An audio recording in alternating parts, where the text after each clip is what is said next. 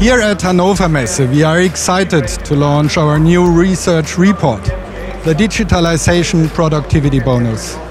To put it together, we have spoken to manufacturers, experts to understand the value of digitalization can bring and how companies are embracing Industry 4.0. Industry 4.0 is transforming manufacturing, for example, by increasing productivity, improving energy efficiency, reducing time to market.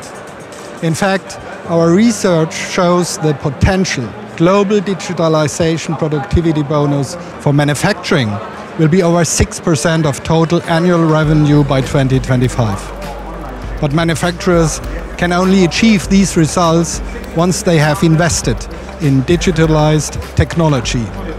Enter Industry 4.0 finance. Simply put, these new financing models mean manufacturers can use tomorrow's financial benefits to pay today's digital technology. These financial models are only offered by specialist financiers like us because they require a deep understanding of technology and its applications. We all know that digitalization offers wealth of possibilities for manufacturers, but we need specialized finance to make those possibilities a reality.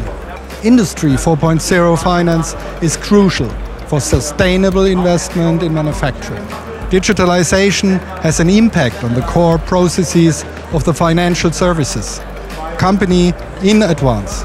If one wants to finance Industry 4.0 with manual processes in the background, the plan will fail.